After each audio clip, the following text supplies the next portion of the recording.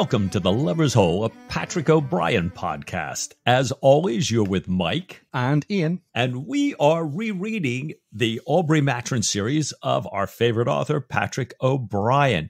Ian, we got to finish up one of these last week, and we've got a special episode this week. What's in store? Oh, Mike, super exciting times here. We finished the final chapter of The Yellow Admiral last week with our heroes called back to duty in the official Navy after the escape from Elba of Napoleon Bonaparte. This week, though, Mike, we're taking a pause in the canon to bring everybody something very special that we've been working on for a little while. Uh, one of our Crossing the Line specials, and this one is all about audiobooks. Yeah, audiobook seems like a very timely topic, but let's pause for a minute, take a little historical perspective. You know, we kind of looked into the early days of audiobooks, and in a recent article in The Atlantic, we got this. In 1883, Everett Niemenhover, a Swedish scholar at the University of Minnesota, proposed a new invention that some thought would have a profound effect on the future of humankind. It was a device that played recordings of books Niemenhover called the device a whispering machine mm-hmm. and suggested that it could be placed inside of a hat so that someone walking down the street or reclining in bed could be perpetually listening to great works of literature. Sounds like it'll, it'll never catch on. that's right. That's right. Well, we kind of go ahead about oh, what, 50 years. And in the 1930s, gramophone records are being made for the blind to be able to enjoy literature. Mm-hmm. And then in the 1980s, ah, the days of my early adulthood, yeah, we have the event of cassette tapes and audiobook listening really starts to take off. Now, with digital media making, you know, people are making recordings themselves. Um, it's much easier to own audiobooks and they were well established by the time the Patrick O'Brian novels were in their prime in the 1990s. Right. Today, audiobook publishing, $4.5 billion US dollar market, still seems to be growing with an audience that loves the audiobook experience, not the least of which the readers of our Patrick O'Brian books. Absolutely. And Mike, we went digging for any of O'Brian's own thoughts back in the early days about audiobooks. And we found this really, really great note from, I think, 93 or 94 that he had written aimed at current readers of O'Brian books, I think. He says this Recently, he says, several of my own books have been recorded. I have listened to them and to some others, and I've grown more convinced that my first notion is right. It is true that, so far, all of my books have been read by men but one of them was introduced by a woman, and her voice was as clear as a bell, exactly pitched for the novel I had written. Well, Mike, I, I don't think we've been able to find out who the female narrator was. We're going to come back later on in today's show to some conversations about the, the potential appeal of a female narrator, which sounds really, really interesting. It must indeed be difficult for the manager of a recording firm to choose just the right reader for any given book.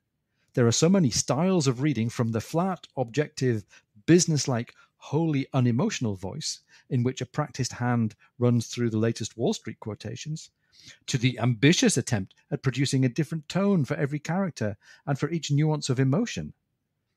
Clearly, a single voice can manage memoirs or a first person narrative perfectly well. But equally clearly, no one man can convincingly impersonate a whole ship's company. Mm. He, he goes on to debate the topic that's been a hot topic for us and for many other O'Brian readers in the interim.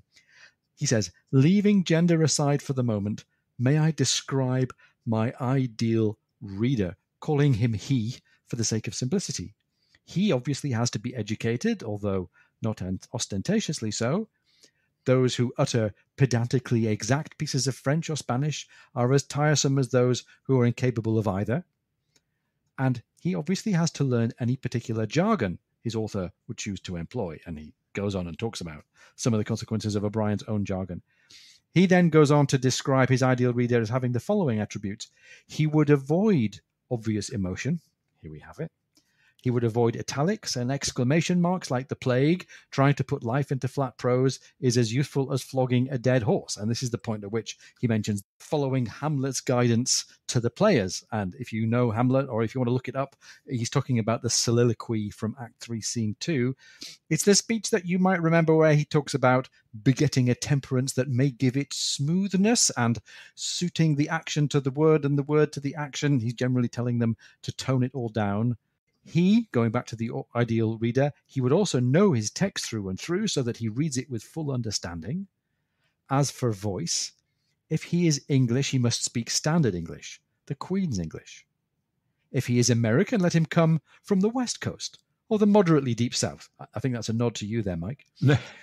if he can be black with something of the splendid African depth and volume of Paul Robeson, it's a fairly narrow interpretation of black voices, but we'll take it. So much the better, though, even then, I personally should prefer him to be a woman, akin, let us say, to Maureen O'Sullivan. So, Mike, there's a there's a lot for us to dig into there, isn't there? There really is. You know, so I'm, I'm kind of wondering do listeners share O'Brian's desire for a neutral, emotionally unengaged style of audiobook narration? Mm would they ever go for a female narration voice? And come to think of it, how do authors these days go about choosing and working with an audiobook narrator?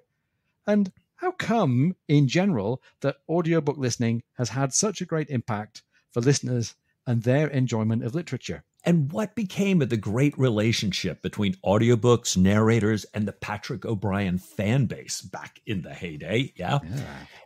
Well, to help us answer these questions and more, we've sought the help of four people who we think you'll be really excited to hear from. We've asked them to introduce themselves and to get us started by telling us how they first came across the idea of a Patrick O'Brian audiobook. Hi, my name is Steve Morris. I'm a filmmaker, a teacher, a podcaster, and a lover of Patrick O'Brian. But I started reading a book with my eyes like a sucker, and it wasn't until the third book, HMS Surprise, that I finally found the audiobooks, and I never used my eyes again. Hello, Ian and Mike. Uh, my name's Chris Durbin. So I'm a writer of naval historical fiction. I've been for six years or so. I didn't really get into audiobooks until after I'd written my first normal book, if you like. But but then I got the first two published in audiobook, and now I'm getting all of the others done in audiobook and catching up. And uh, so far, so good. Hi, I'm Simon Vance, and I'm one of the lucky audiobook narrators to have narrated the entire series of Patrick O'Brian's Aubrey Maturin books. I first became aware of them when I was actually performing because I'm an actor as well, but I was doing Billy Budd, and one of the cast members was reading all Patrick's books. Uh, and I thought I must do that sometime. And then a few years later, when the Master Commander movie came out, and my audiobook publisher, one of them, came to me and said, Would you like to narrate this series? So that was two birds with one stone. I got to read it to myself and to a whole crowd of other people. My name is Sue Dennis. I am Patrick Tull's widow. We were married for 25 years. And at some time in the late 80s, early 90s, we took a cruise to Bermuda and he had stopped by recorded books to get homework because he always did his homework. And we were going to dinner one night and he said to me, You know, I'm reading this book and uh, I really hope there's more. I really like them. Ooh. And it was Patrick O'Brian. So it's going to be fascinating to hear from all four of these great guests. Um, we're going to start with the perspective of a listener Let's start then with Steve Morris and talk about his experience as a listener. Well, it's funny. I I am an obsessive, crazy uh, audiobook listener and podcast listener, and it really started for me. I think I didn't get this until much later, but I was obsessed with my parents' uh, musical albums. So I would listen to Camelot and My Fair Lady. And then I found out you could check out old time radio shows from the library. And so I started listening to Groucho Marx and Lone Ranger and all that stuff, not knowing that, oh, even though I love to read, that actually I love reading with my ears more than I love reading with my eyes. And so when audiobooks started to come out, my first one, I think, was Stephen King's Gunslinger, which is the first of the Dark Tower series. And that's probably in the mm. early 90s that I found that. And I listened to it over and over and over again. And then I started to discover, oh, some of these other books, like Patrick O'Brian, they actually had them on books on tape at the time, which you would send away for, and they would mail you the cassettes, then you mail them back. And so once I started on those, I never went back. So, what do you think makes the, the audiobook experience so much different from from turning the page and taking it off paper? I think, you know, there's a lot of studies that show that there are people who are visual learners and audio learners and who learn in different ways. And so part of it is what syncs up with you. So I think for me, my brain just works better with hearing the spoken word than it does reading. And then over time, I started to speed up the audiobooks. So now yeah. I listen to them at two and a half to three times speed. Wow. Uh, because like I said, I'm a crazy person. and, and, and so it allows me to go through so many books and podcasts and lectures, which I just love. And frankly, if I, the reason, part of the reason I love doing that is if I am doing anything else, I'm washing the dishes, I'm exercising, I'm driving the car, I'm taking a walk, whatever I'm doing, you will see me with headphones in my ears because I always am listening to a book or a podcast. Now, I wonder what the experience is like from the other side. You know, for an author, we asked Chris Durbin. Very early on, I was approached by a publisher, an American publisher, to, to publish the first book and then the second one as audiobooks. They then chose not to take them further. And I can kind of understand that because for a traditional publisher, the volumes in this genre are not great and they've got to really think carefully before they take these things on because they're putting money up front. They, they're innovation, right. paying for all the other things that go around publishing. So I was kind of left in limbo then. And for about two years, I was wondering what to do. And I suppose what really spurred me on in the end was I had an email from somebody who was partially sighted and saying, look, I've read the first two. Have, have you, have you given up on us? You know, what, what's good? Wow. So, so, that spurred me to actually sit down and find out how to do this. Um, the one thing I knew I didn't want to do is to get another publisher because I didn't want to be. Yeah. Um, it, it, sounds a bit harsh to say held to hostage by them, but that's kind of yeah. felt at right. the time. So I looked at the way that Amazon does this. So I publish through Amazon for, for my paperbacks and my uh, my Kindles and so on, and they have a, a system called ACX, which allows you to do audiobooks. And it is remarkably simple, quite time consuming, but very simple. Essentially what you do is you put, um, I think it's 500 words or, you know, quarter of a chapter or something out there and ask for auditions. You state what you're looking for. In my case, I wanted a male voice. I wanted a British voice and I wanted somebody who could sound a bit authentically 18th century nautical. And, and I got, about 29 uh, tapes came in, and and my wife wow. sat down and listened to them all to try and uh, try and try and get the one we wanted. It was actually easier than it sounds because I suppose I suppose of those twenty nine, well over twenty were from the our Jim Ladd School of Naval Speak. You know, and and they would have been great if if I was writing a pirate story, but but they were yeah. easy to to to uh, put aside. And the others we just listened to and listened to and listened to until we narrowed it down to the one we wanted. Then we went through the process of, you know, how much they will do it for. So, you know, it's kind of a, uh, you know, will you accept this amount of money? No. Will you accept it? You know, that, that sort of thing. Um, and eventually we came to, uh, to, to, an agreement. Um, and happily, the same narrator, David Lane Pusey, is now uh, hoping to do all of my books.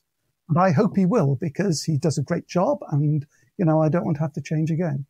Um, so, so that's essentially how I do it now.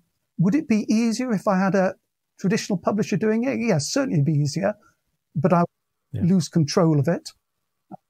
Right. I, I you know, I, for example, I, I, would have no say over when they were published, over who the narrator was, um, over yeah. what the cover art looked like. So, so I'm much more comfortable taking control of all that and doing it myself. So I think we're up to, I think I'm just looking at my shoulder at my book collection here. I think we're up to book six at the moment. And I think he's probably working on book seven. And, and coincidentally, by the time he's done all the books up to wherever he gets to, wherever I've got to at that point, hopefully by then I will be out of contract with the first publisher and he'll be able to do the first two for me again. Oh, okay. Oh, so, right. Yeah that's where, where I am with audio publishing. Terrific. So now we're up to the point in the process where the author's ready for their new book to be narrated. It's time to hear from award winning narrator Simon Vance about his first steps in narrating the Patrick O'Brian audiobooks. Yeah, well, I've been a, an audiobook narrator for, for 40 years, um, pretty much, beginning in the 80s in London when I was a, a BBC Radio 4 newsreader. And I, I, donated time for free to the RNIB's Talking Book Service you know, for the blind and partially sighted. Uh, and so I was doing it for fun. And then I uh, immigrated to California in 1992, uh, and I was going to be an actor full time over here. And I did a lot of theatre and a bit of TV and film, but um, somebody mentioned to me that they do actually pay you to record audiobooks. So I started recording audiobooks because it filled in the time. And turns out I was quite good. I'd sort of served an apprenticeship in London in those 10 years. And um, a couple of the companies I worked with uh, kept me busy through the years, but it was very slow. It was just a backup. And of course, then the uh, iPod was invented, you know, MP4 players, and then the iPod in the aughts. And the business took off and Blackstone was sending me books every month. And I think it was because of the the release of their movie, Master and Commander. Suddenly, those books came to prominence again, and Blackstone got the rights at that time to to do a, a, a version. And I remember being uh, auditioned, as it were. And the woman Hala was her name. Uh, Blackstone, based in Ashland, Oregon. She called me and said, "Look, could you could you give us a sample? We want to see uh, if you can do sort of battle scenes and that kind of activity. Because up to that point, I've been doing books for them for nearly 10 years. Yeah. Um, and I was like, really? You want me to audition? Oh, well, okay. So I, uh, I did, and they were happy with it. And I got the first book. And, and uh, over the next three years, I recorded the whole series of 21 right to the very end. Anything, Simon, looking back on that, um, that you found particularly enjoyable or particularly challenging in narrating that 21 book series? Well, I, I, mean, it's all enjoyable because I love the challenges. so it was both enjoyable and challenging. Um, all good books have their challenges but because they're good books, you don't mind them. You know, the Patrick O'Brian series, it's a fun, rollicking series. I mean, it's up and down. You know, some are really good books and some are, yeah, that's okay, but it's still all the same characters and they're so adorable. You just want to hug them every time you come across them. But yeah, the challenges of so many characters, the challenges as you get with any long series of, of you know, characters appearing in one book, not appearing in a couple, then coming back, and you have to remember how you voiced them. And I'm not sure I got it right every time, but, but I'm sure there are people out there who've probably listened to them more than once who can go, "Oh, Simon got that one wrong," but it's it's it's the fun of it, and and those are part of the challenges. And of course, it's it's a historical book based on truths of language and names and so on. So you, there's a certain level of accuracy you have to mm. to check on. I always loved Jack Aubrey and Stephen Maturin. Mm. as as people. Um, but I and, and of course particularly love their they're playing off each other. Uh, yeah. It's glorious. There's so many individual characters barely any of them I could name right now because it's been so long. And I, I, my own, uh, my memory of it is of just a wonderfully enjoyable time from beginning to end. You know, you it's it's as I'm sure all, all the fans of Patrick O'Brian at the time just wanted it to go on. And yeah. had he lived, it would have gone on, I'm sure, for many more. And and I can't tell you the sadness of reading those. Is it three chapters or something? Yeah. Twenty one that um, and and it just ends and it doesn't and they're sailing off and it's it's oh, heartbreaking heartbreaking to let go of those people. It must have been very odd to try and make something out of 21 as well because it's not a whole intact story. The dialogue probably wasn't completely written. Out i don't know. Did you ever think of saying no to 21 no. No in uh, fact i think i pressed for it. Right. I don't think they were prepared to go for it. I said, "No, hmm. we've got to. I don't care." And and here's the thing, you know, when I narrate a book, uh, it, it's hard to say because I don't want to.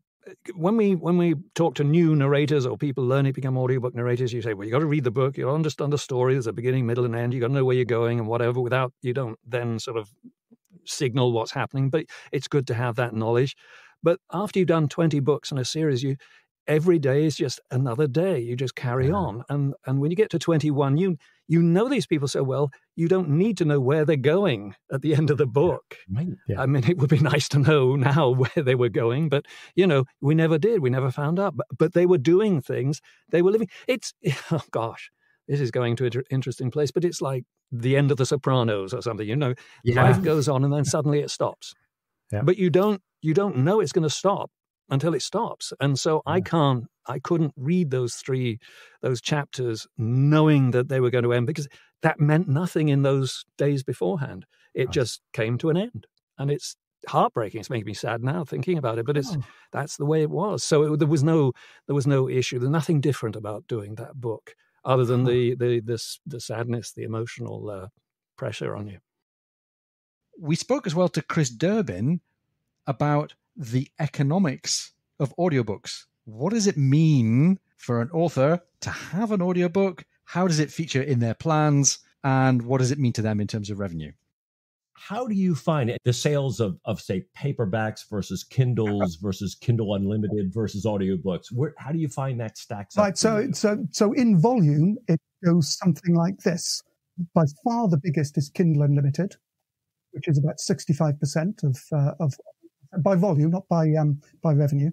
Um, about twenty-five percent is Kindles, actually selling a Kindle book as opposed to to uh, a subscription. About seven percent is paperback, and about three percent is audiobook. So, you, Okay. so you can That's still really low. Is- yeah. Plenty of room there for more on the audiobooks, yeah. right? and I'm not sure how to increase that. In fact, I'm not even sure who listens to them. So, so I hate to bring up the horrible subject of uh, of finance here, Yeah. but Hmm. audiobooks are a bit of a leap into the dark for independent authors. So, so the two ways of doing it, you can either approach a narrator and say, you do it for nothing, but you share all the profits with me, 50 50. Yeah. Or you can say, I will pay you for the narration, and then you just walk away after that, and, it, and, it- and it's all mine. That's the one I've chosen. Um, I'm hoping that it will break even in about two or three years after each book, which is quite a long time, actually. Yeah. But I have no real confidence that it will, simply because of this 3% figure. It's very difficult to, to make your money out of it. I, I, I was at a, a, a- literary um, meeting oh, many years ago where, where, where somebody was berating the author who was speaking because they had not brought it out on audiobook. And, and he quite hard heartedly said, I can't make money on it. He said, if, Right. if I thought I could make money on it, I'd do it but I'm not a charity. And I thought at the time, oh, it's a mean attitude. But I see exactly what he meant because you know it's hard enough to make make a living as an author anyway. And if you're then going to siphon some of this off into audiobooks, you have to be really clear as to how that's going to go. So speak Right. to me again in say two years' time. I'll be able to tell you whether that's worked. And no conversation about O'Brian audiobooks would be complete without mentioning Patrick Tull. So we wanted to hear from Sue. How did her Patrick get started and how did he come to the O'Brian books? I became a listener of Patrick O'Brian books. Patrick Tull and I listened um, to all of his books, and the O'Brians, especially, we listened to on long trips. Mm. Other books that uh, that he had, we seemed to be doing a lot of long traveling when um, in the '90s, and um, I usually grabbed a book um, on my way uh, out the door in the car. So um, you know, the John Masters books, uh, the um, Rumpole books. Mm, Um, Rumpole was one of Patrick's favorites. Um, he, he had a lot of fun with that. Mine too. He also did the Ellis Peters Cadfael books very early. Before he started the O'Brian books, he was doing Cadfaels on a very regular basis. Also, very kind of char- character driven, lots of history, lots of kind of drama in them as well. Sounds like he'd have had a lot of fun doing those. Exactly, exactly. Um, he also did the Sharpes. Dickens was probably his favorite. He really Nice. enjoyed doing Dickens because of the character development, I believe. Um, Yeah. But uh, he really did enjoy doing the um, uh, Patrick O'Brian books. And of course, um, during the 90s, um, he had started the books and then uh, suddenly got a call from Norton um, saying that Patrick O'Brian was coming over. Remember when he was doing his first tour? He was doing a, a lecture at the Yale Club. And I think that was the first time we met him. What was your impression of him? And, and I'm really interested as well. What, what do you think his initial response to audio book recording would have been as an author? I think he wanted it always to be very flat. He he and Yep. uh, Patrick Tull felt that people would um, would need an accent, and and he was very careful about making sure that he had the appropriate accent. Yep. Um, Patrick O'Brian wanted it to be very very flat and level, and and Patrick Tull just disregarded it. Good. Thank goodness. it's probably worth saying at this point that if you haven't read up to and beyond the first chapter of the 100 days, you might want to skip ahead 30 seconds or so while we hear from Sue Dennis about one particular character driven event that had a big impact on Patrick Tull. You know, because we've we've talked about different narrators and their different approaches. I kind of wondered what was it about O'Brian's work that you know meant a lot of Patrick Tull and and vice versa here. Uh, I think he loved the period of history, I, and I think he loved the characters. Uh, for instance, when Diana died, he was deeply upset, Oh, just deeply, deeply upset by that. Uh, we had we had several long conversations about it, and I kept saying, um, "That's very sad, but it's a character in a It's a book." character, it's fiction. So, Mike, it's probably interesting to stop at this point and just reflect back on O'Brian's own interest in female narrators. We, we've got a world today where I think most people's choices for narrators of Patrick O'Brian audiobooks are, are of the male variety. What do you think about this idea of potentially a female narrator for audiobooks and for, for something like an O'Brian book in particular? well, it, it's fascinating. I mean. Uh, right now, I th- I think the split between male and female narrators is is almost exactly even, and it's really you know female narrators have come kind of into their own over the last couple of years. I mean, you know, Yeah. really starting to catch up and close that what was a big divide. Um, now, some online authors claim that you know publishers tend to default to the author's gender, the book author's gender, but female listeners outnumber male listeners in general. You know, perhaps not for Patrick O'Brian, but we know there are a lot of female readers. So I'm I'm fascinated by the idea. Now, for me personally, I love a lot of dual narration books where we've ah, got right. if we've got key female characters, key male characters, you know, you've you've got different folks doing that.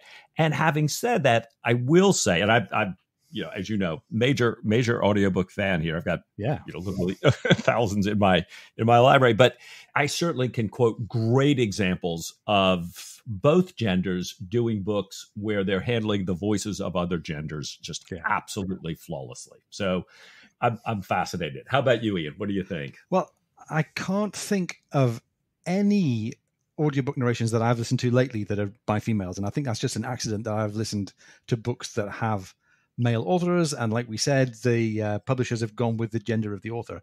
I think a female voice for Patrick O'Brian could be really great, uh, partly because we'd get a female take on the first person um, world of Sophie and Diana, but just because the way that the kind of clarity and emotional richness might come across, I think it could be really, really great. So, listeners of the show, tell us what you think. Hit us up on Facebook, facebook.com forward slash Lubbers Hole, on Twitter at Hole Lubbers.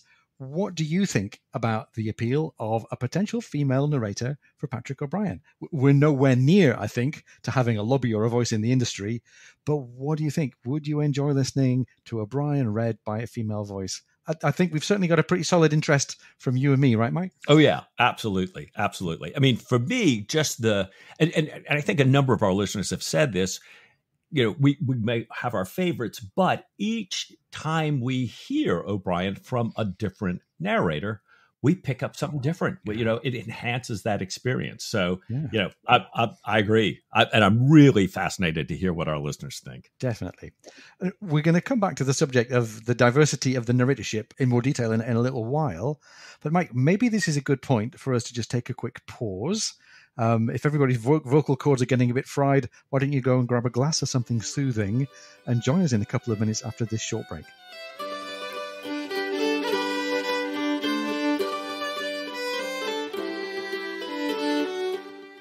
If you're enjoying the podcast and if you're listening to the show before September 5th, 2023, would you consider helping us out and heading over to the British Podcast Awards website and casting a vote in the Listener's Choice category. Go to www.britishpodcastawards.com forward slash voting and let's see where we get to.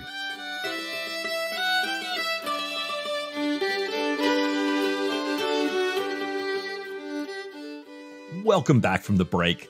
Um, you know, I think when we get right down to it, you know, we're talking about what makes the audiobook experience so distinctive for the listener. Well, let's hear from our super listener, Steve Morris.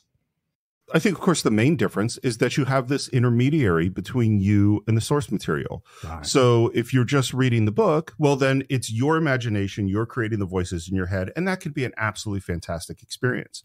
And if you have a really crappy reader, which sometimes the audiobook readers aren't that good, well, then it's it's a net negative, you know, because they're bringing down the book.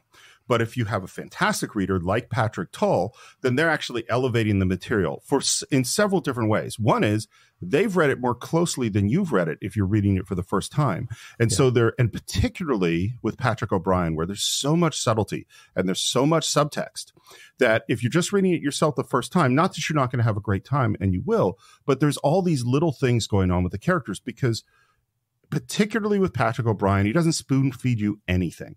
He doesn't tell you what these characters are always thinking. He doesn't tell you exactly what a thing meant. He doesn't go like, and now we have resolved our conflict, or now we are going to do this. It just sort of happens. And so having a reader who understands what's happening, as Patrick Tull does so well, well, then you understand the nuance, the humor, the subtlety, the difficulty, the awkwardness, all that is coming through with the way he portrays those characters.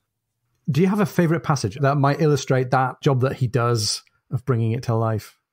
So, I'll tell you something interesting about the books, which is that when my friend Dave Draffin, who first recommended the books to me in 1991, mm-hmm. he said, Listen, just get through the first book. And by the time you get halfway into Post Captain, you'll be hooked.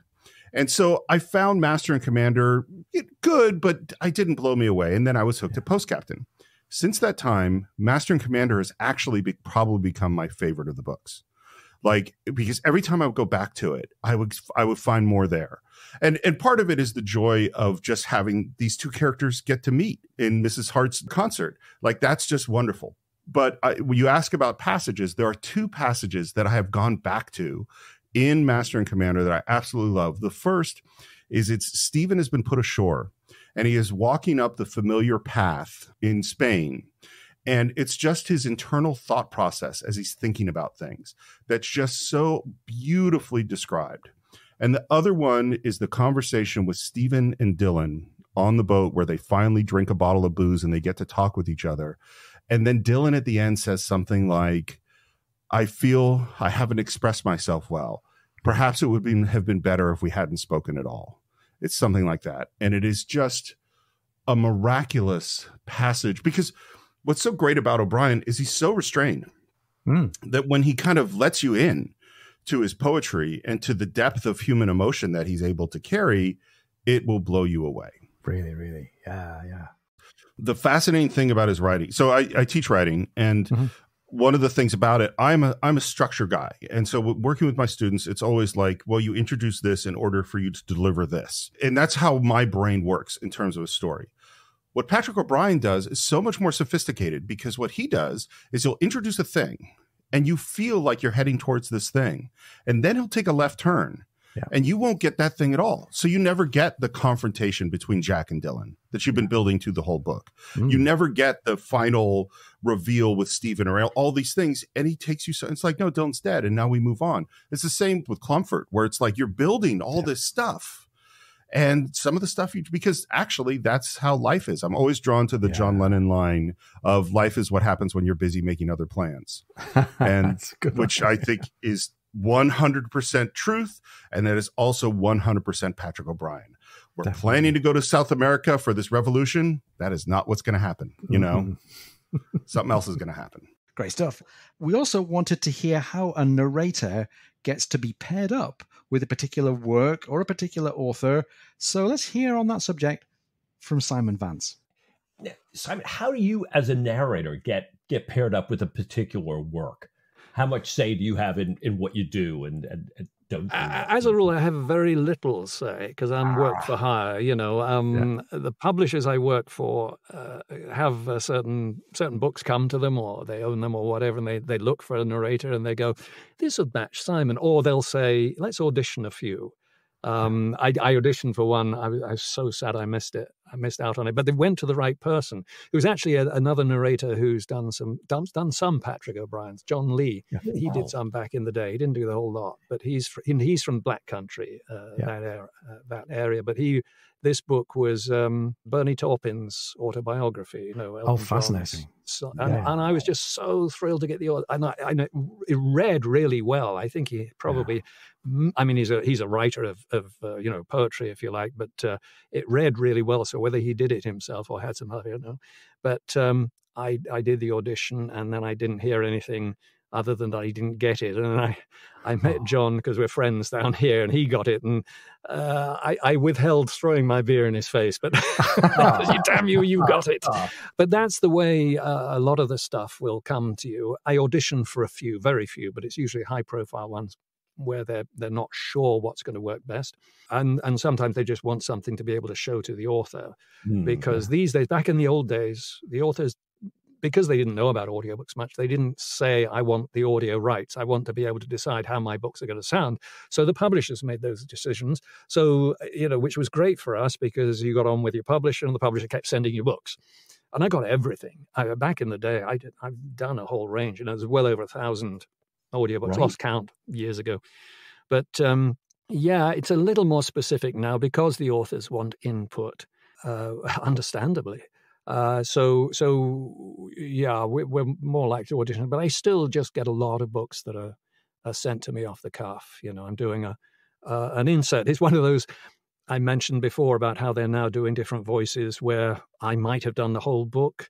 Now I'm only doing an hour or so, or somebody else might have done the whole yeah. book. But this is a Daniel Mason book, uh, Northwoods, I think. I, we're recording it now, and a, a friend is doing the main narration, and I think there's another voice and I'm doing just a, a chapter of a character that's uh, from Northamptonshire, but he's in North America around the time of the Revolution and so on. So I've been listening to some more Northamptonshire accents to get that. I mm-hmm. did a lot of work with Alan Moore when he did Jerusalem, which was a huge book of his, mm. um, and he's Northampton born and bred, yeah. and uh, so I've I've experienced doing that, but. Um, but yeah, I didn't have to audition for this one hour. The publisher knows me, so they just it came across the table. There's only one occasion where I I went to the publisher. Well, I, I mentioned 21 where I yeah. pushed for that, but I didn't have to push right. very hard.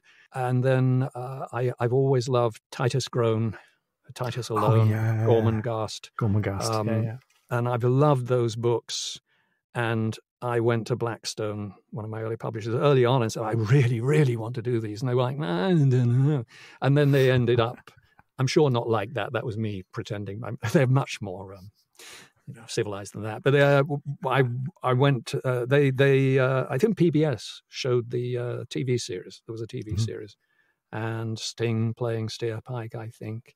And suddenly it was a little bit there. You know, had a little more of a public awareness and uh, they sent the books to me. But that's the, pretty much the only time that I've done it as a result of pushing to do a book specifically. Other than that, I've been very fortunate, and and I do get authors now who specifically ask for me, so that's been good. I bet. Right. Oh, great!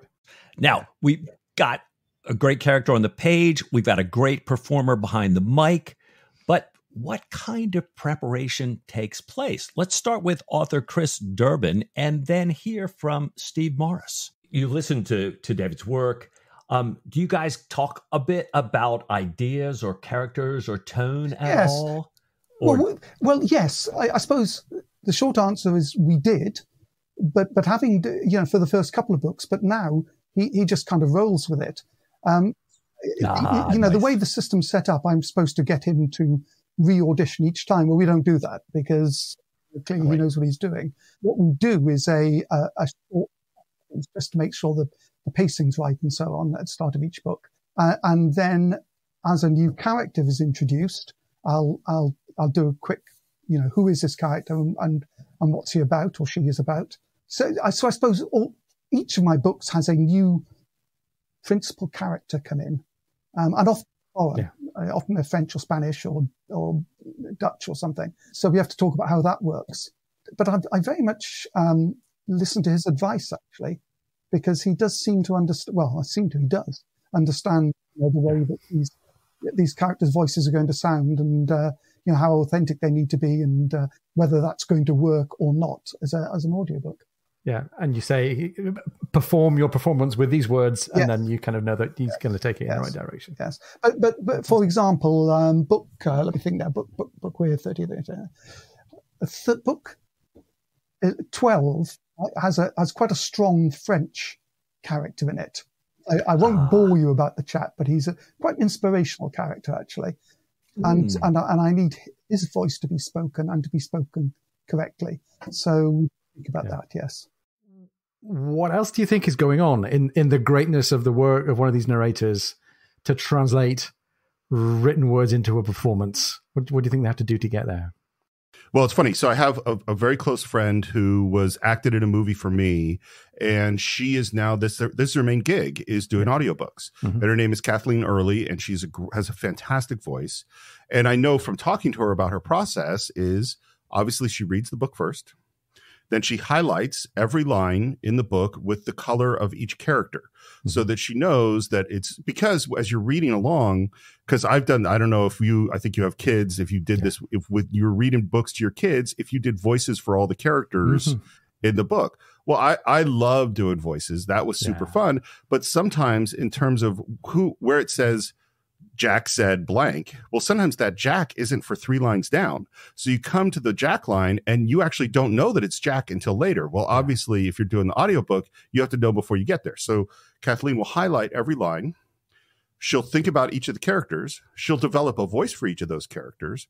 And then it's just exactly like acting, which is acting is what is the subtext? And subtext means what is the meaning behind the words. So I could be saying, Yeah. You okay? And you okay could be anything from genuine concern about whether or not you're actually okay to you're acting like a moron. You need Yeah. to you need to go home and stop. And it's the subtext that tells the actor how to deliver that line. And particularly with a character like Stephen, who's all subtext Yeah. there's always so much going on in his lines. Whereas Jack is thinking at the moment. He's speaking as he's thinking. He isn't, he doesn't have, I mean, he ends up being, as Stephen would say, a very deep file. Yeah. And he really is in lots of ways. But he also is just words come out of his mouth. And so Yeah, he yeah. doesn't have that thought process. And so that's how you have to deliver those lines. Right. Jack's an extrovert, and I guess it's easier to play extroverts in some way, whereas introverts you have to kind of draw it out of them in in the performance. I, I wouldn't say easy or hard. It depends. It depends on the actor. Like I think uh, now this goes, and, and I would say it also goes to there is a huge difference between voice acting and film or theater acting, Yeah. which is that playing the introvert in a film or a play, well, it could be in that look that you see the look that the person gives, and that Yeah. makes helps you understand what they're thinking or their gesture, or their body position, or things like that. Yeah. Uh, in a book, in an audiobook, you don't have any of those visual tools, so you have to do them with the hesitation or the pace of how you speak or things like that to create those Mm. characters. One other thing to add to it. The other difference with all of this is that you're not just speaking the words that someone is speaking, you're speaking their thoughts and you're speaking the narration, you know? And so the, there's there's also like, well, what is the tone? And this is a lesson I learned about writing much, much later, but because I didn't write a lot of prose. But what's interesting is that you can be writing the narration, which is saying Stephen is doing this or doing that. But within that narration is clues. And Patrick O'Brian, again, one of the greatest at this, are clues to the emotional state of the character or the thought process. So the way that the narration is written when you're with Stephen is different fundamentally from the way the narration is written when you're with Jack, because Stephen is more introspective. He's more intellectual. Jack is more straightforward. In fact, the the I don't, it would be very interesting to see how the book is weighted in terms of how much time we spend with Stephen's thoughts versus Jack's thoughts, and it's a Yeah. lot more with Stephen. And let's go back to Simon Vance again. You know, we wanted to know what goes on behind the curtain, if you will, as he's preparing for an audiobook narration. Simon, we've seen you described as a specialist in single voice narration. Can you tell us a little bit about what that means? Uh, it's, uh, well, it's that uh, there is only one narrator. There is only one. There can be only one. Um, one of my favorite movies, Highlander. anyway, it's it's changing somewhat now because there's a lot about authenticity. If you get a book that's got four points of view, four different people, these days they will hire four different actors, mm-hmm. four yeah. different performers, uh, which is a good thing. It's great. There's a lot of you know, problems with cultural appropriation and people yeah. doing funky accents and not doing them well, and so on and so forth. And and so it can be embarrassing if you if you make a mistake like that. But I I used to pride myself on doing a pretty good job. Uh, I remember one particular one, The Prestige. Mm. Oh, okay. Christopher Priest, The Prestige. It, they made a movie of it. Yeah, they made a movie yeah. with Christian Bale.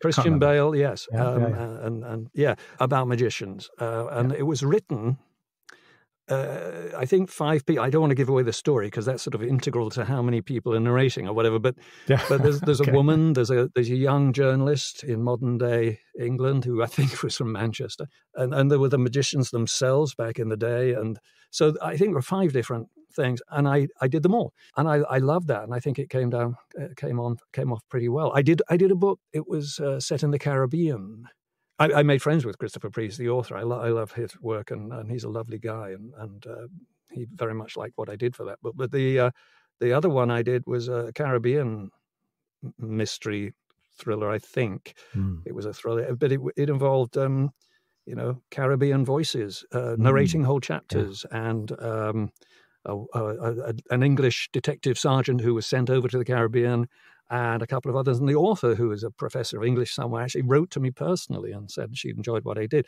That's, you know, that was of its time. These days, yeah. that would you'd get the individual actors because there's so a much bigger pool to draw from. Mm. So, to answer your question, the single voice is that is me doing right. everything, Got all it. the characters, and and uh, yeah, uh, that's uh, that can be a lot of pressure, need a lot of research. For the Caribbean one, I spent a lot of time because it was many years ago. Uh, and I think I've just managed to log into uh, some online radio stations coming out of Jamaica and a few others and just listen to those for hours in the day to, to get the accent. I couldn't do it now just off the cuff, but uh, right. Uh, you know, to get some authenticity. And that's the way I tend to do accents is by listening. Okay. So uh, tell us then a bit more about the process. If you've got I don't know what the unit of activity is, it a, session's worth or a chapter. How would you go about preparing? What, what, does it take to get kind of words off the page into you being mm. ready to hmm. perform? Yeah, you know, it's a. So I'm presented with a book. Um, yeah for example, there's Patrick O'Brian's, are 10, 14 hours long. You, you to sort of calculate how long it's going to take you. I tend to break it down like that. I'll, I'll, I'll test depending on the size of the text, the size of the pages, and so on. I'll work out how long it takes to do a page by reading a few of them. Then I'll calculate how long the book's going to take. I used to try to get three finished hours a day, and I do two hours in the morning, one hour in the afternoon. That's finished hours. Yeah. Uh, how long that takes depends on the difficulty of the narration. And that can depend on so many things the style of the writer, whether they're a good writer and it's easy to read, whether they're a difficult writer and they use a lot of subclauses or whatever, or very strange twists yeah. of language, and you have to keep retaking sentences. So that can vary a lot. But I used to get two hours done in the morning, one hour in the afternoon. Um, and so three hours a day, so a 10 or 14 hour book would take about a week. Um, and I, I've reduced that now because I'm older and creakier. Um, my voice doesn't hold up, and and uh, so I'll do two hours a day. Uh, okay. Uh, but there's still a lot of work around all that. So it sounds simple, but there's a lot more. With a book that, if it's a, a new book uh, or a, from a series or something I don't know, uh, or a, you know a mystery story, I will yeah pretty much need to read it beginning to end, just so I know who the good guys are, who the bad guys are, who's doing okay. what, who's pretending to be someone else, who's not, who's, and also to get a sense of the language of the of the author and and basically understand the story. So that's usually I do that in advance. You know, sometimes I've got time. I'm doing a book next week, next Monday, and I'm about to start the prep this week. So okay. I'm fairly light week, so I'll just sit and read and stuff, and um, it's yeah. So uh, um, and I'll I'll pick out if I need to look up words. I'll that's when I'll I'll right. highlight them. I'll probably have a um, an Excel spreadsheet of all the pronunciations. The nice thing for me is I work alone. Um, 99% of the time i don't have a director online i'm not sitting in a studio with a with an engineer or whatever it's very much myself so my time is my own i yeah. can take as long as i like without having to worry about the studio racking up bills for engineers and whatever so you know i will record And if I come across a word, I go, I think I said it this way last. I think uh, then I'll I'll check it on the Excel spreadsheet, and then I'll. So that's what means one finished hour will often take longer. Yeah. If there's nothing much to look up, I'm a very good reader. I'm a good sight reader, and I can take it off the text off the page, and I can record an hour in about an hour and ten minutes because wow. you make flubs here and there, mistakes and so on. So you need to retake. So an hour and ten minutes, and I what I do is I my process is uh, audiobook narrators work in two different ways. One is uh, punch and roll, where they'll make a mistake and then roll back and and run a little bit before that and it'll drop into record and then they'll go on yeah. and that's the finished product. I tend to do a straight record where I'll leave the mistakes in, but I'll make marks. Yeah. So, you know, if I make a flub, I'll just drop a marker and I'll start again on that sentence or something. And then afterwards, I spin through and edit. And because yeah. of my days at the BBC, uh, I was in local radio and I used to do all the woo, woo, woo, woo editing with a razor blade and yellow sticker tape and stuff. So I'm, my eye is very good for digital editing and I'm, I'm very quick at cleaning up messes. I'm sure your engineer is excellent at that too. Um, he certainly is. So, yeah, yeah. yeah so, so that's the way it, it, it, sort of that takes the time, and it so I can do an hour in about an hour and ten, an hour and fifteen, or it could be an hour and forty-five. Hmm. One of our listeners, you know, was just completely puzzled. He said, "How come we never hear the pages turning?" Ah, well, the easy answer is because we don't turn pages anymore. It's iPads. Yeah. You know, and there's that was an interesting move because I mean, I remember, as I say, I started recording over here in 93. And there were occasions, most of the time, the publishers would send a huge stack of paper. You know, there'd be a, a you know, a Xerox or something, you know, huge, yeah. that's an old word, but, you know, they, they'd send a whole stack and there'd be a lot of FedExing backwards and forwards. And what you do with those sheets, you generally put three in front of you and if you make a mistake at some point in one of them, you could use that break in to move them along. Otherwise, you would have to then, you, otherwise, you would uh, deliberately stop, move them, and then start again. So there'd be an edit. You know, you pick up. Yeah. There was a thing that one of my friend, fellow narrators uh, introduced me to called Widows and Orphans. And it was basically if you had a sentence that ran on from the bottom of one page to the top of the next of a printed page, you'd write, and I can't remember which was the widow and which was the orphan, but you'd either write the end of the sentence at the bottom of the first page or the beginning of the sentence at the top of the second, so that you the break when you turned the page was edited out, but you had the sentence to continue on, which was I think I did it once, but you imagine a book of 400 pages and you do that. It's, it's so much prep work. So basically, I, you know, you'd move three pages along and you either memorize what the previous sentence was or something like that.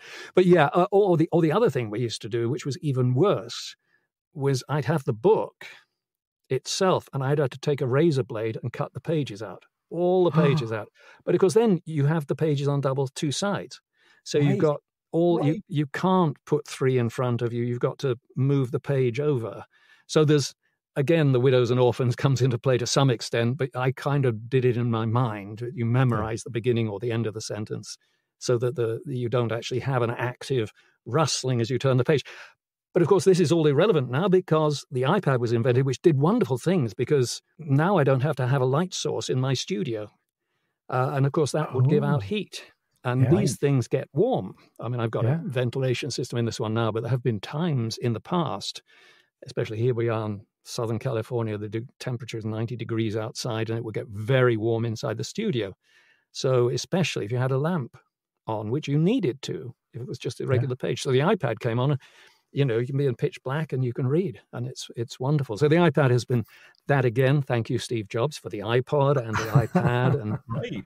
uh, gifts to us. So I was really struck by what you said about. But by the time you got to the end of the book, you were deeply, deeply connected, as readers are, and as you must have been in a special way as a performer to the characters of Aubrey Maturin. And I can kind of Im- imagine the way that might have gone. I, I listen to your narrations, and your Aubrey is very big and sort of physical, and Stevens, this kind of sounds very physically slight. But you must have had to build up some idea of what the recurring secondary characters were going to be like.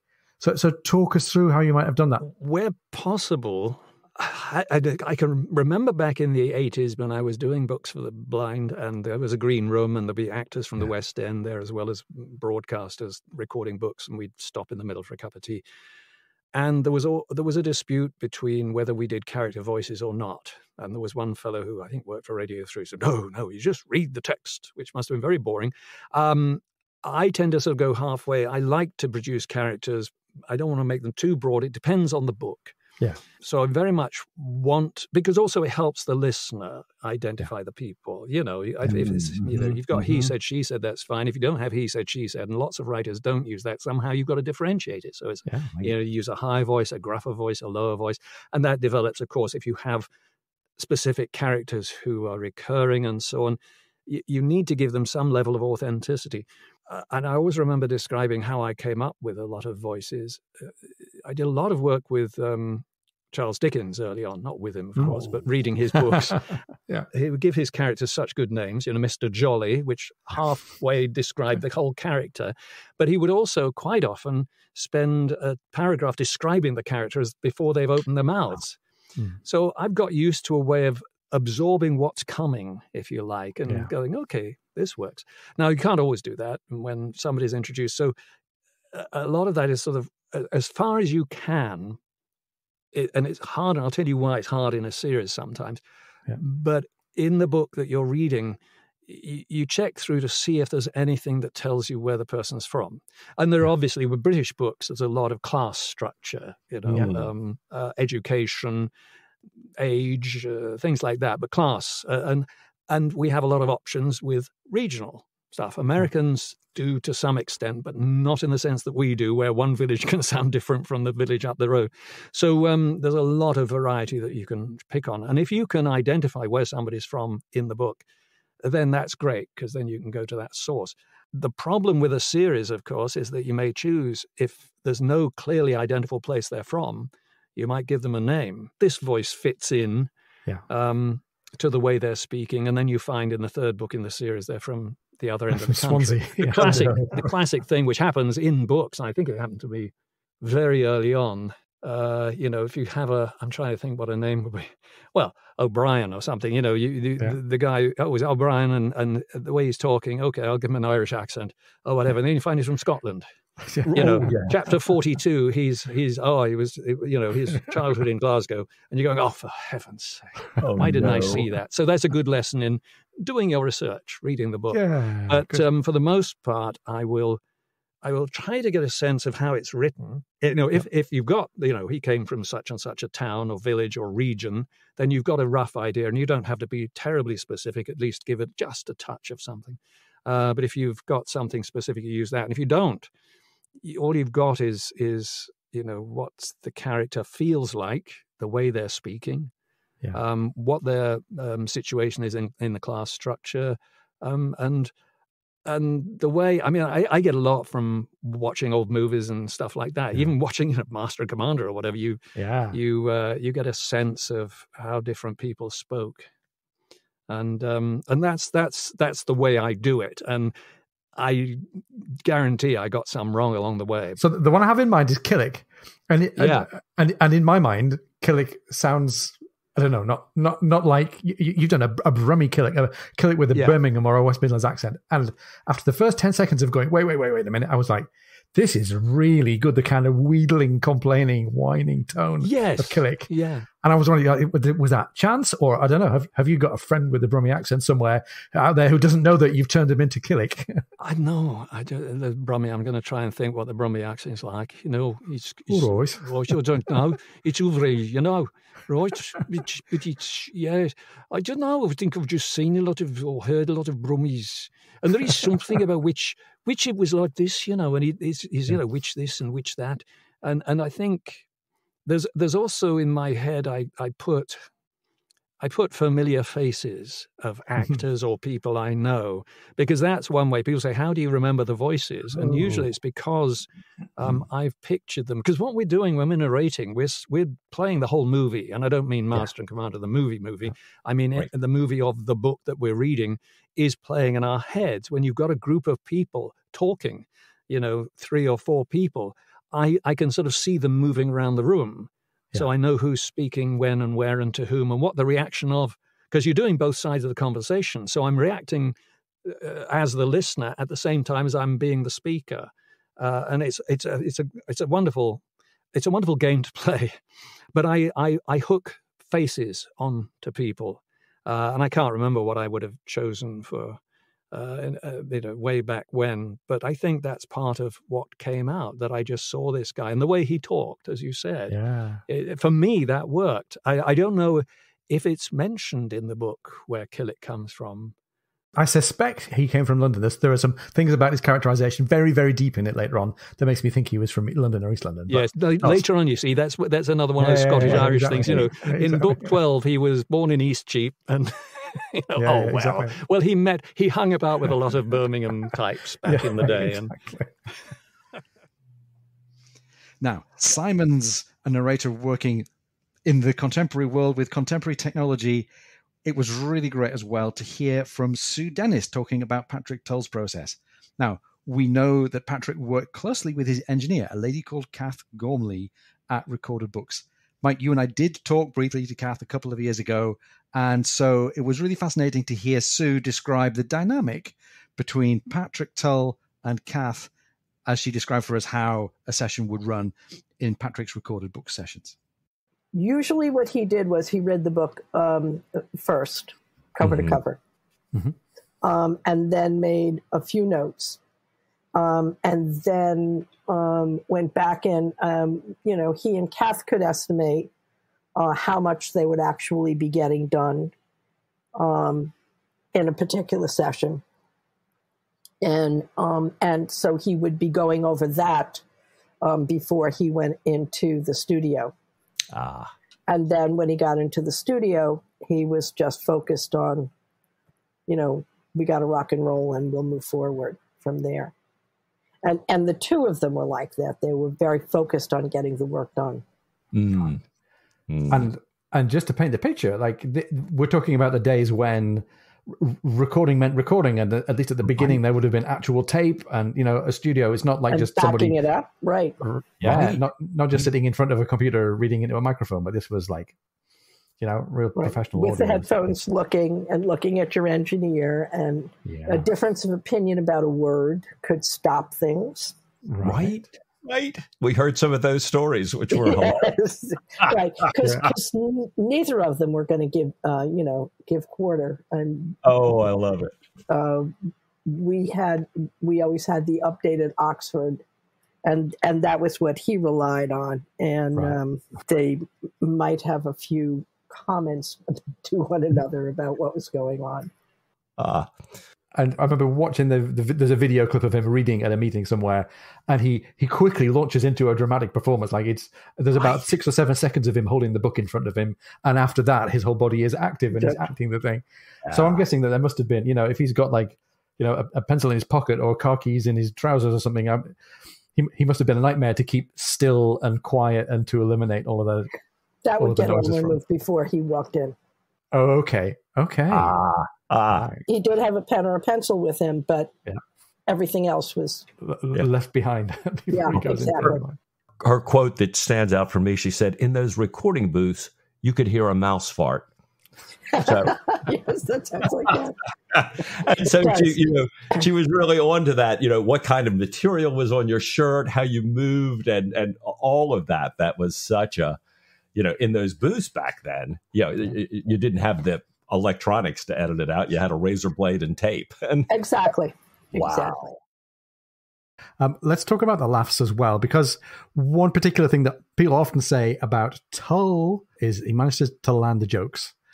So tell us something about how come Patrick Tull seems to hit the jokes so well. Well, the first thing that people don't really realize is that an actor and, and a you know a narrator in an audiobook is an actor. Yeah. Is the first thing they have to do is they have to get the jokes. Yeah. And Patrick O'Brian jokes are subtle. You know, like there's so many things. Obviously, Stephen is a truly hilarious person. He has a brilliant, brilliant wit. But part of what's interesting about Stephen's wit is he doesn't necessarily care that anybody else in the room gets it. is that he is saying something for himself. And so, like, for, uh, an example would be is you have an Aubreyism, and then where so Jack has messed up some cliche, and then Stephen is helping him to finish the cliche, and of course we know that Stephen knows what Jack is trying to say, but he is not going to say what Jack is trying to say. So Jack will say, you know, don't look a, a gift horse in the, and he'll hesitate, and Stephen will say, in the eyes, you know? and of course, he knows what the expression is. And so it's, you could, as an actor, say, make the choice of Stephen doesn't know where Jack is going. He's trying to figure out. And he goes, um, uh, in the eyes. I, but what, what Patrick Tull knows is that Stephen does know and he's messing with Jack. Yeah. And so that is a subtlety in how an actor portrays a part. And I'll, and I'll say one other thing having auditioned actors, I did a Mm-hmm. couple of sitcoms when I was in film school. And so you got a bunch of jokes. And what you hope is that you get an actor to come in who can come up to the material so that every joke that is in it they get and they can deliver on. But that's not the real goal. The real goal for a great actor is that they will plus your material. They will find lines within your material that that weren't funny. You wrote Yeah. them. You know they're they're not funny. There's no joke there, and the way they deliver them, they're instantly funny. And you think of like Julia Louis Dreyfus as a perfect example of someone who is always plussing the material. They're always giving you a little more. Will Ferrell is making things funny that aren't funny on the page. And so a great actor, and Patrick Tull is a great actor, is finding all these things. And in particular, I would say all of his supporting characters, like Killick, is so Hmm. damn funny Yeah. in the hands of Patrick Tull. And he could just have like one line, you know, where he just says something a little grumpy to one of his mates as he's leaving the room, or the way and and, and the Killick Jack and Stephen relationship is fascinating because they are his superior in every single way, and he has, as they is described in the books many times, a moral superiority over them. And so, how you navigate that relationship, because they're both scared of Killick, Yeah. you know, and they both can yell at him, and to getting all the humor out of it, that's where Patrick Tull's genius really shines. So, right at the top of the show, we talk about how Patrick O'Brian fans came to love the audiobooks and the audiobook narrators, including Patrick Tull, were a big part of O'Brian, you know, of, of the O'Brian fandom world and the O'Brian world at that time. We asked Sue Dennis to tell us some tales about that time and what that was like. um, during the 90s, um, he had started the books and then uh, suddenly got a call from Norton um, saying that Patrick O'Brian was coming over. Remember when he was doing his first tour? Right. And um, so we met him at, he- was doing a, a lecture at the Yale Club. And I think that was the first time we met him. Mary was a very quiet person uh, but was right there.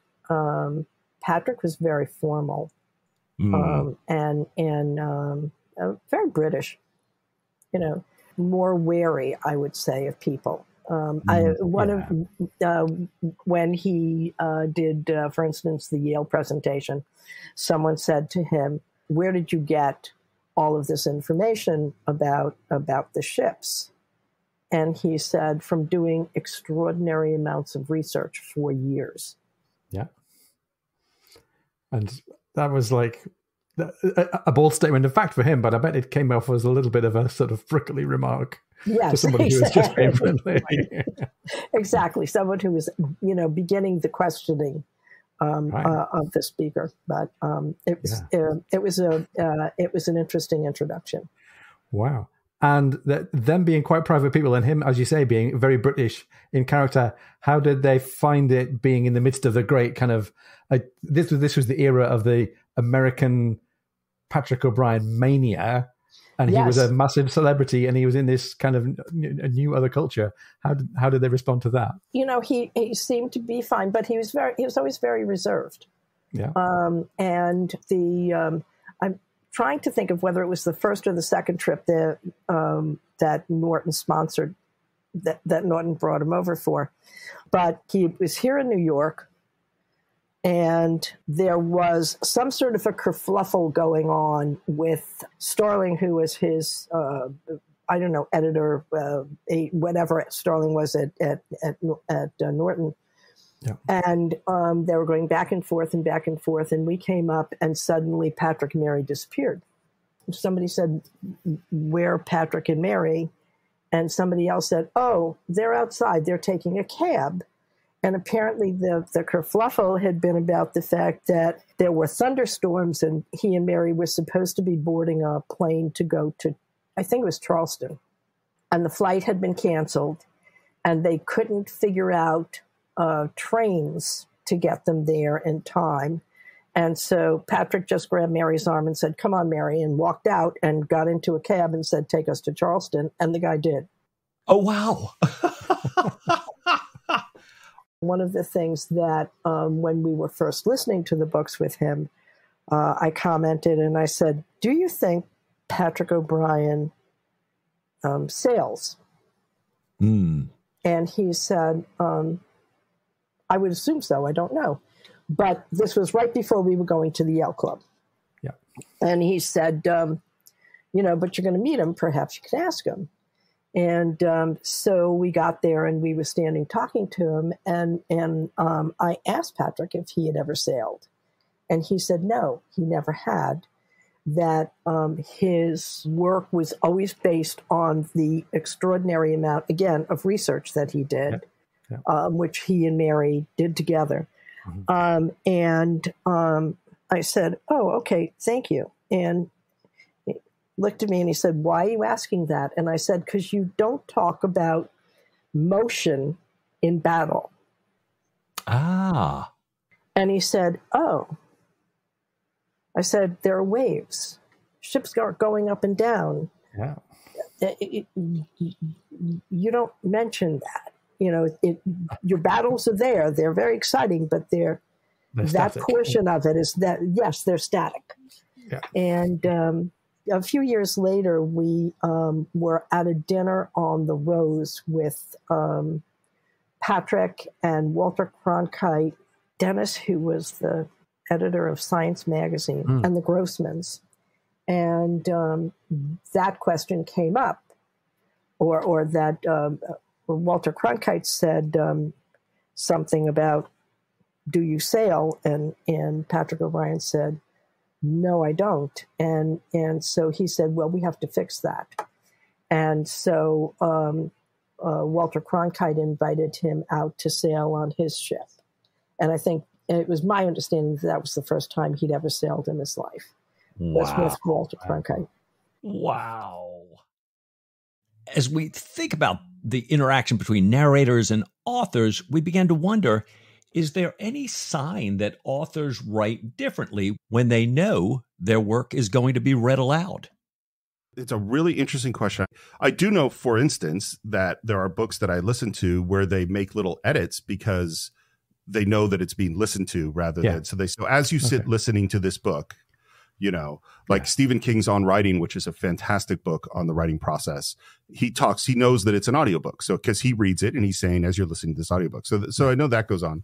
I know for me when I write, and I know many, many writers who do this, is you have to read everything you wrote aloud.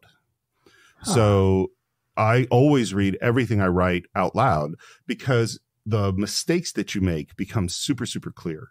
Because something that looks like it flows with your eyes, as soon as you put it in your mouth, it doesn't flow. Now, part of this is because I, I write screenplays, Yeah. so obviously it's it's it's an audio medium, but Yeah. still going through the rhythm is something that I know many, many, many writers do.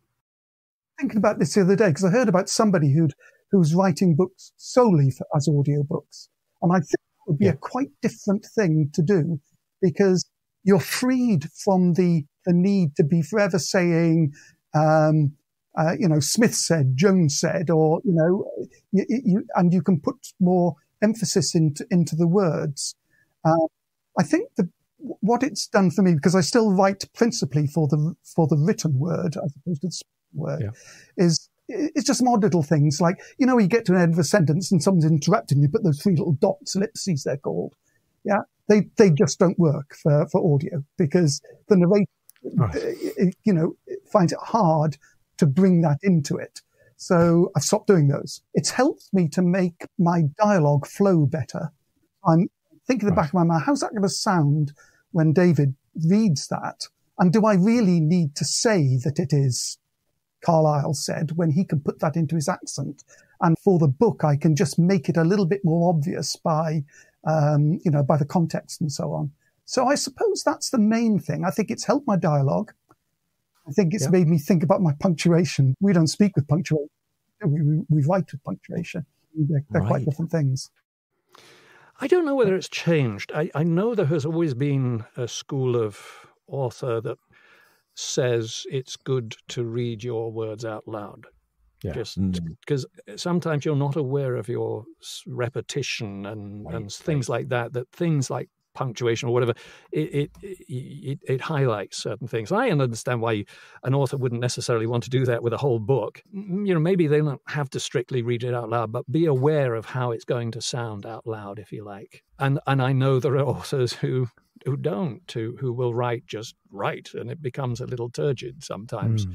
Many times, repetition of words. I mean, there are styles of writing that require repetition of words, but it's when they're accidental but become very prominent when you're repeating. I remember a couple of times uh, last week reading, and there were repetitions of of words in sentences that just made it clunky. Yeah. And I remember thinking that was in one of the instances of, oh, this could have done with an editor.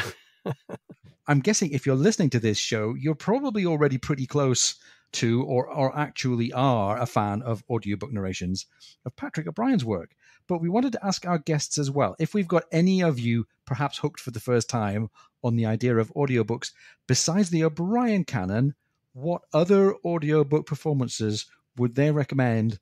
Let's hear from Steve and Simon and then from Sue. So you're asking me. I, I literally have over a thousand books in my Yeah. audiobook library. Okay. So so it's a little bit hard for me to go through. You know, like I know you're having Simon Vance on the show. I've listened to Simon Vance do dozens of books. He has a fantastic voice. I think he did the James Clavell books. I think he did. Um, and and so you know you get used to sometimes these voices, these uh, narrators become your friends. I, Yeah. I I don't think I've ever decided to buy an audiobook solely because I love the narrator, but there are definitely some narrators that make me much more likely to buy it. My guess is Yeah. most of the people that read Patrick O'Brian, you know, the Sharpe novels and E.M. Forrester and probably Rudyard Yeah. Kipling and some of those guys. And those are all lots of fun. Another one I mentioned a while ago is uh, a book I've read many, many times, which is Stephen King's On Writing, which I still say, along with Anne Lamott's Bird by Bird, are probably the two best books on the writing process. Uh, Stephen King's in particular is like half autobiography and then Yeah. half just real nuts and bolts about writing. And it is so good and highly, highly recommended. My goodness, I'm rattling my jewels here. What? uh, yeah, uh, people haven't heard audiobooks. It's understandable. Um, they're they've had an up and down reputation over the years. They they're really they're getting really good now, uh, but Yeah. they've been through sticky patches from time to time. I don't know how I'd introduce somebody who has never listened to an audiobook. Some people, you know, they'll go after the names. You know, we're talking about, uh, you know, the author reading their own book. They might do it that way. Uh, If that's the case, I, I you know, Neil Gaiman and have a go at that. They'll go for actors and actors, Mm. named actors, and and there are a few named actors who actually done not a bad job, but many of them are terrible because they come from a different discipline, you know, stage Yeah. or film, which Yeah. requires completely different. thought. And it's I, I've heard about actors who've gone into the studio and they've come out of it going, I'm exhausted. How can you do this day after day? Because it is, Yeah. it's a marathon, it's not a sprint. Yeah. Uh, and, and, and it requires a different kind of focus. Um, and it's not, it's not just about the voice. In, in terms of where to go, I think, I think you ask yourself, what do I like reading? Yeah. What do I think I might like having read to me? Would I Mm. like to have a mystery novel? Would I like to learn about World War II? Would I like to learn about this? Or i- is this a fantasy world? Do I like fantasy? Do I like, uh, or even horror? You know, or there's a huge market for romance um, and, and, and even erotica. Would I like to listen to that and then go on to one of the download services? Uh, of course, the big one is Audible, but there are many others, and, and look at the genres. And you can sample a couple of minutes of each one. Um, Oh, right. Mm. and sometimes sometimes that doesn't give you a good picture you know that uh, a narrator might sound good for a couple of minutes because they've got a really interesting voice but a really interesting voice after four hours becomes really boring if you know what i mean so it's um it's a difficult it's a challenge but give it a chance you know you find something you think you like by a certain narrator follow up on that narrator. I know people would like to say, "Well, go listen to this book," but yeah. I know that if I said, I, I, you know, I won awards for the Alan Moore book, Jerusalem, but I know that is not a book that everybody would like because it's right. weird in many ways, and I would okay. not want to turn people off. Yeah. So.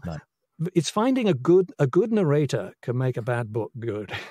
Yeah. You know, but a bad narrator can destroy everything. right. okay. You know, uh, so, Mike, getting towards the end of the show, as, as the Lubber's Hole resident super fan of audiobooks, tell us some of your final thoughts here. Well, it, you know, it, it's clear from the interactions that we've had, you know, over the years with our listeners that there are many huge fans of audiobooks you know, of audiobooks in general and the canon especially. And and while the debate on the favorite narrator might not have quite reached the level on the debate of who should play each one of our heroes in the in the next movies or streaming series, you know, at least not yet. There okay. are significant numbers of listeners who have their favorites. As a matter of fact, this episode was partially inspired by one listener, Jeff Allen, who introduced us to a canon narrator, Ric Jerrom. I, I hadn't heard of him yet. And he asked if we could discuss audiobooks more on the podcast. Now, I, I listen and read both when we're working on a chapter, but really truly audiobooks have spoiled me for the written word in most cases you know even when i was back at seminary studying koine greek you know the audio learning for me was so much easier than the written and uh-huh. I absolutely love accents. I absolutely love the characters, you know, primary and secondary in books. So, you know, audiobooks are definitely my go to. Fantastic. So, where are you now on the the big favorite narrator question? Well, you know, I, I, remember in the Harry Potter heyday, there was this big debate over Jim Dale, kind of the U.S. Yeah. narrator, versus Stephen Fry, the U.K. narrator, and that debate was really massive. And, and, and being in the U.S., I was a tried and true Jim Dale fan, to the point that I bristled a bit if the movie actors, you know, weren't close enough to his character voices. It was wow, like, no, really no, tough. yeah, yeah, you're getting that wrong, right? And I've always been a huge Patrick Tull listener. I mean, that's when you introduced me to the canon. Yeah. You know, I, I came into the canon along with, you know, not just the books, but Patrick Tull helping me every step of the way here. So, as part of making this episode, though, I've, I've learned, you know, even much more that different narrators of the same book, as I mentioned earlier, bring out different parts of the books in different ways. And I really appreciate all of our listeners advocating on behalf of their favorite canon narrators. As a result, I tried Simon Vance reading Master and Commander, something that would have been akin to heresy in my younger days. I had just finished listening to him read Dune, cool. and you know I loved it. And then I thought, you know, then you said, "Hey, Simon's going to be on the show," and I was like, "Oh, seriously?" and I, you know, I've got lots of Simon Vance books in my in my audiobook library. So, you know, I, I love him. I love his reading. I just never had taken the plunge with O'Brien. So I've decided now that on my next circumnavigation, I'm going to start from, you know, 1 to 21 with Simon Vance reading the whole way. Good man. Now, I finished Master and Commander. I went back to my Libby app. That was the, you know, the only way I could find Master and Commander read by Simon Vance here in the state. And and I went to grab Post Captain and I learned that, wait a minute, my library only carries one Aubrey Maturin book read by Simon Vance. No problem. You know, I'm going to go buy them. But but wait, you know, I just couldn't seem to find them. And then I learned that for some reason, Patrick Tull is now the only authorized audiobook collection of the entire canon. I- have heard that this is coming from the estate of Patrick O'Brian or whoever holds those rights.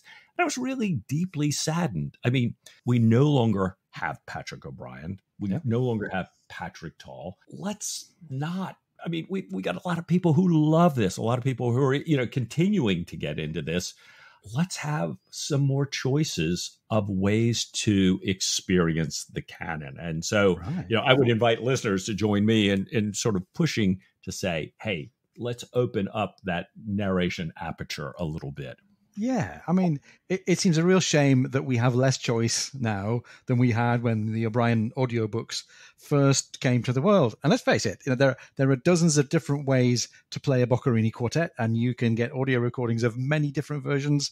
So why not have the same thing, that same kind of diversity of interpretation when we get to hear our books read aloud? I think that would be a great step forward. Hear him, hear him, hear him. we only have one movie. You know, perhaps there's another in development. And we know that O'Brian thought it would be really nice to have a woman narrate the series. I'd love to hear that. You know, I'd love to have all the narrators available, as I've said, so that we have these more ways to enjoy the canon. Yeah. I've got to say that for me, you know, I'm, I'm going to borrow uh, shamelessly from Arthur C. Clarke's famous third law of magic in Profiles of the Future when I say that to me, audiobooks are indistinguishable from magic. you know, and they're a good magic. yeah, yeah. Yeah. It's a it's a magic that I'd like to see available for everyone. I don't believe any of the narrators would get paid any more if their works were available. Right. Um, you know, now that may vary for the people who hold the rights. I don't think any of the narrators hold those rights. So nobody's making any money if they can't sell them.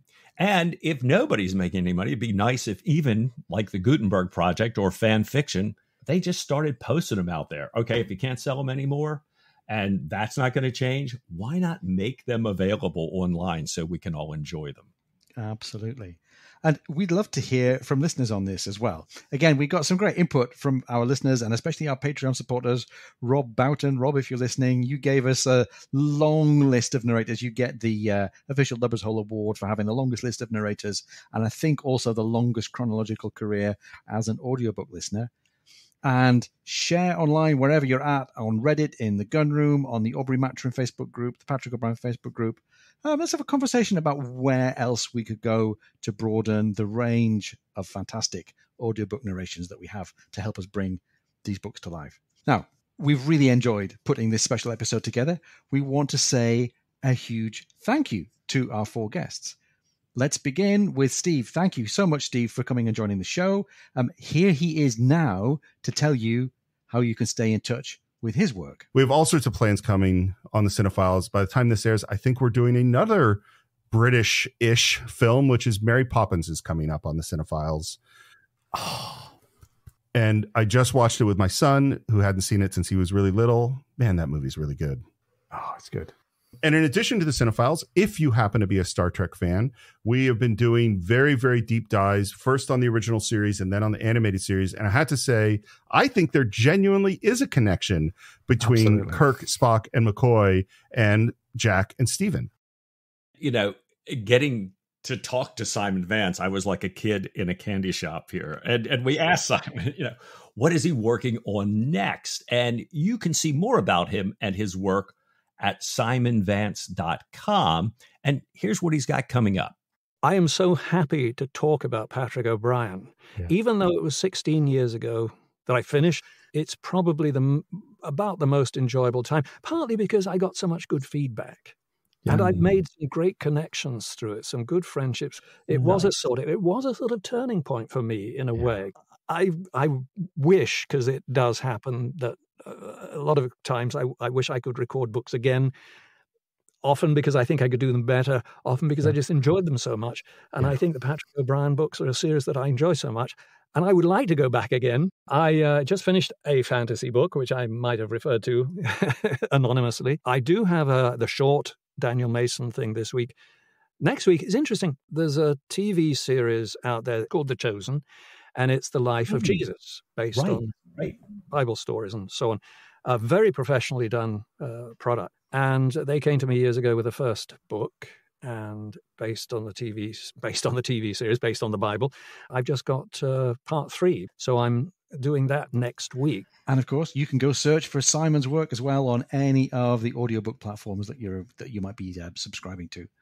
You can also follow Chris Durbin's work by going to his homepage, www.chris-durbin.com, or he's on Facebook, www.facebook.com forward slash Chris Durbin author, all one word. Now, be careful. You might just find yourself in the midst of a new nautical historical fiction series. You might just. And of course, it's been great to reminisce with Sue Dennis. Thank you, Sue, for all of your time and your, your, kindness in joining the show.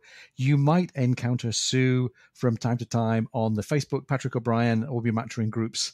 And it's been great to have her and all of our four guests with us today. So a big thank you to all of them. Um, Mike, we've covered a lot of territory. Take us to the end here. What are your final, final thoughts? Yeah, well, it's been fascinating to walk through the world of Patrick O'Brian's audiobooks. It's been great to understand more about how narrators work through the audiobook process, how authors work with narrators, and the impact that they have on listeners. I particularly love coming back to Patrick O'Brian and his thoughts yeah. on audiobooks, you know, moving from thinking that they should be read flatly with no characters, his thoughts on the joy that a woman narrator could bring to our enjoyment of the canon, and then hearing about his interactions with Sue and Patrick Tull, Tull who brings so very much to the characters and who clearly love those characters as much as we do. I can only wonder what O'Brian would think today of the books, the audiobooks, the movie, and all the love that we have for his world of Aubrey and Maturin yeah. today. Thanks to all of you for joining us. Thanks for continuing on this journey with us. Please let us know if you've decided to try an audiobook, Patrick O'Brian or otherwise, who was the narrator and what your reaction to it was. I may sound a little strange, but one of my favorite things to do is to listen and read together at the same time to get myself even deeper into the stories and the characters of this world that we all love so much. Oh, amen, Mike. Really well said. Thank you. Ian, I, have got to say a very special thank you to you. I mean, this has been, you know, a complex undertaking. I've done corporate takeovers with less moving parts than, you know, conceiving this, lining up the interviews. I mean, your spreadsheet of of how we pull all this together, just brilliant. Hats off to you. I, I don't know how you do it and do your day job as well.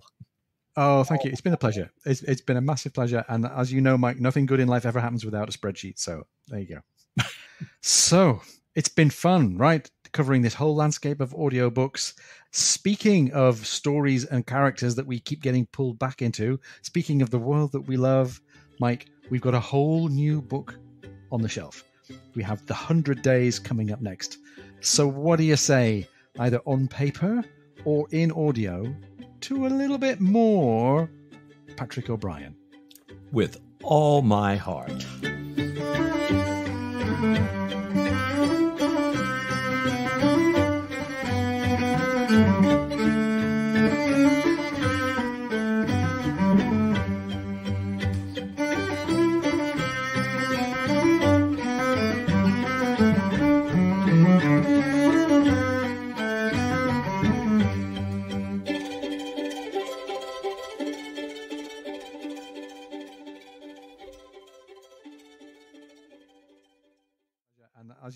Nothing good in life ever happens without a spreadsheet. So there you go.